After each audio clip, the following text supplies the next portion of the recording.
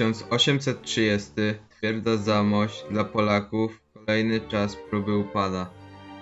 Większość wojsk polskich przekroczyło już granicę, przypieczętowując przegraną Polski. Twierdza Zamość nadal się trzyma.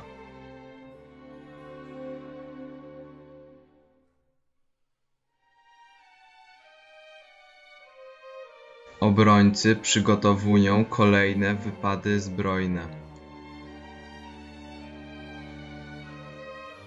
Obrońcy nie są w stanie dłużej walczyć. Rosjanie umacniają blokadę miasta.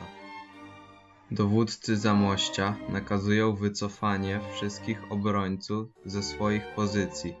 Powstanie upada.